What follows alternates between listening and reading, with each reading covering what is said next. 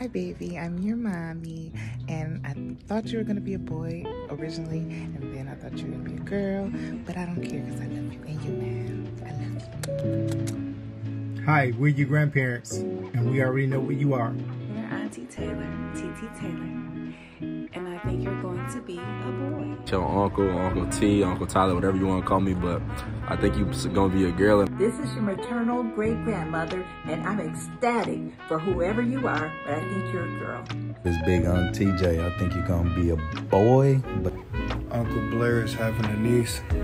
We think you a boy. We your godparents.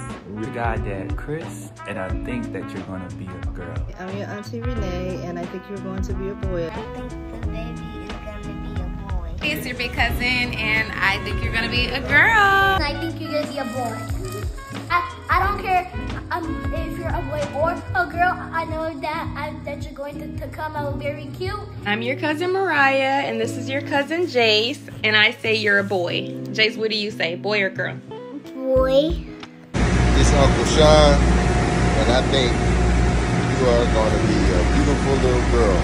I'm Tasha, one of your big cousins, and I think that you will be a boy. Um, I want to say a boy, I want to say a girl, because I don't want to be wrong. I, mean, I think both too. I cannot wait to meet you. Your grandma already told me what you are. Girl. I'm your great Uncle Quinn, and I think you're a boy.